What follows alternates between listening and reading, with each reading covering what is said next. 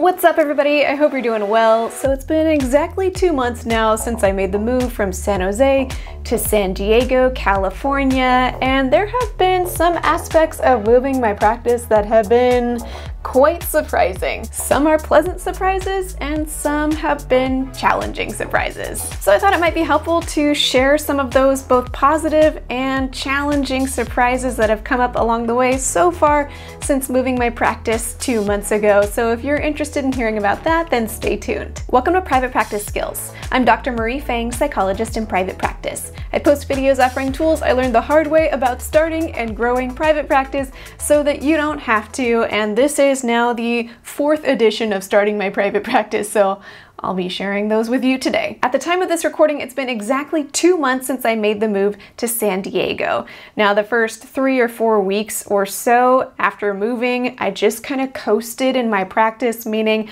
I didn't proactively do anything related to starting my practice in San Diego, building it here.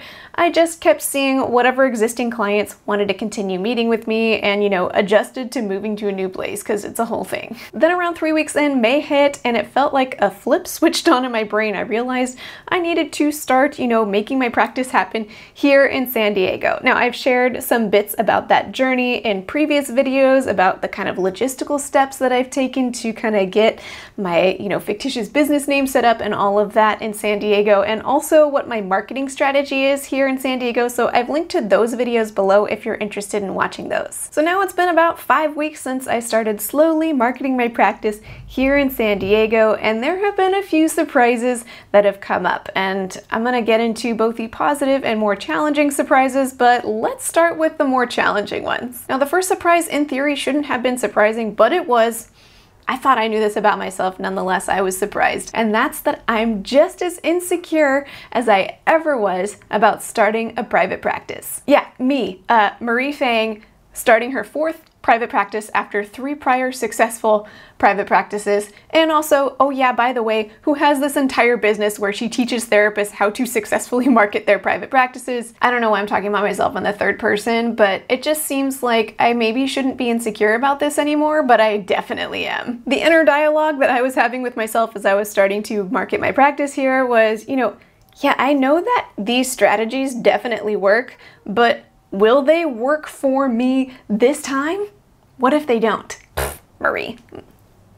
Yeah, more on that later. Challenging surprise number two is that this process has felt pretty isolating for me.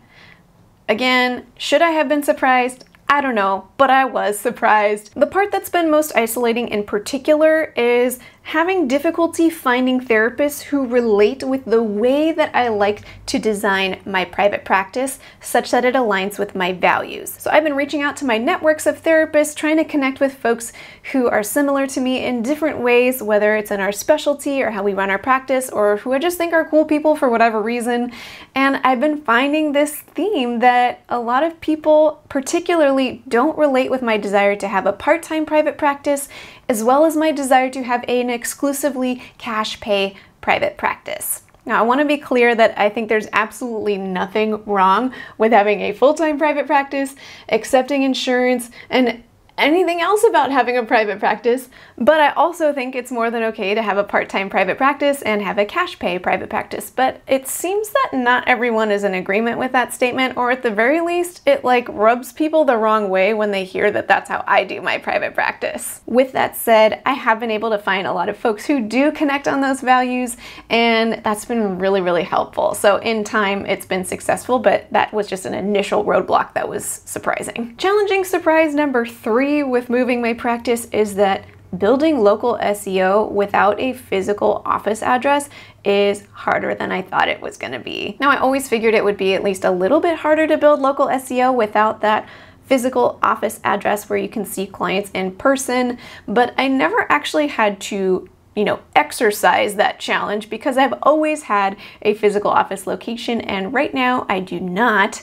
And as it turns out, it's harder than I thought it was gonna be to build that local SEO. Now, that doesn't mean that building local SEO isn't possible when you're working virtually from home, but it is more challenging. One strategy that I'm going to start implementing to try to overcome this challenge is I'm going to try to connect and network more with local therapists and see if we can kind of cross link to each other's websites appropriately and sort of organically. The hope is that by cross linking to each other's websites when everyone kind of is located in a similar area and talks about San Diego and all of these things is that it could signal to Google hey, Marie probably is operating in San Diego specifically, but I'll report back if I have any updates on how building local SEO is going. Now let's shift gears and talk about some of the more pleasant surprises that have come with moving my practice to a new city.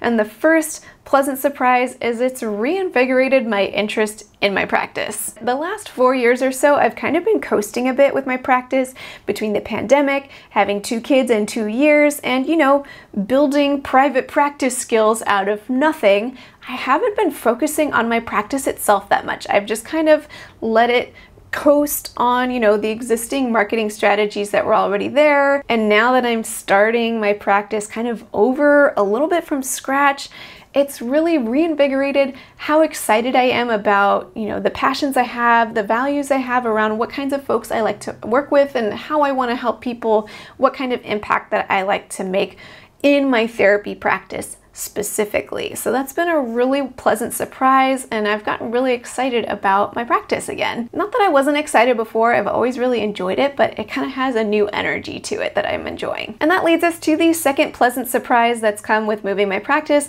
and that's remembering just how much I enjoy marketing. Now, I preach this from my course all about marketing, and again, should I be surprised? Nonetheless, I was. that when you build a practice that aligns with who you are and your passions and values, and you choose a marketing strategy that fits with your skill set and your giftings, marketing is enjoyable. Now, there are certainly aspects of marketing that feel a little bit more tedious or aren't like the thing that I'm, you know, jumping out of bed in the morning to get done, but overall, for the most part, my marketing strategy is something that I'm really excited about. Now, lest you think that, you know, I'm just some, I don't know, marketer or person who's unique in that I enjoy marketing, that's not true. It's just that I've aligned my marketing with my values, aligned my practice with my values. So when I go tell people about my practice, I'm excited about it because I'm really excited about the work that I do, the ways that I can help people. And the third way that I've been pleasantly surprised with moving my practice is it's working. Now, the first three weeks or so of, you know, actually putting forward marketing efforts, I heard crickets. There was no interest. I mean, my website wasn't even showing up on Google search results at all because I got a new domain name. So I had no SEO power at all, and people just didn't even know who I was or that I was here. But in the fourth week, I scheduled three intakes and it's been taking off from there. Now, again, imposter syndrome. I wondered whether this was going to work at all, but even in my confident state on my best day, I figured it would take like two to three months for my marketing strategy to start like really kind of kicking in and ramping up. But I've been pleasantly surprised that, you know, it's been picking up speed just about a month into marketing. So that's been really reassuring to see. And then, of course, the folks that are contacting me that I'm getting to work with are people that I really enjoy working with who just align so well with my niche, my passions, and my values, and this sense of like, oh yeah, I can help you with that. Oh, it's the best feeling. I love that feeling. So overall, eight weeks into moving and about five weeks or so into actually trying to market my practice, I'm seeing that my marketing strategy is starting to work.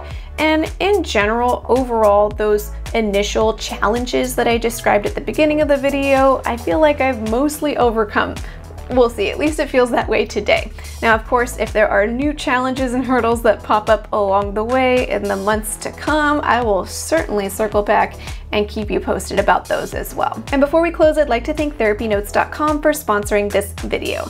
Therapy Notes is a practice management system that covers all of your needs related to your practice, from scheduling to notes to billing, and they also have a HIPAA secure telehealth platform.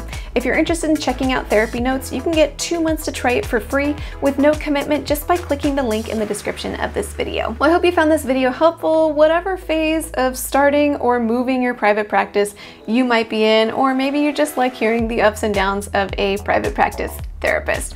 Let me know in the comments what some of your biggest hurdles have been related to either starting or moving your practice so that other folks can glean from your experience as well. And until next time, from one therapist to another, I wish you well. Trash truck, trash truck, it's a trash truck driving by. They don't know that I'm filming, they don't know that I'm filming. I waited for the leaf blower to finish before I filmed.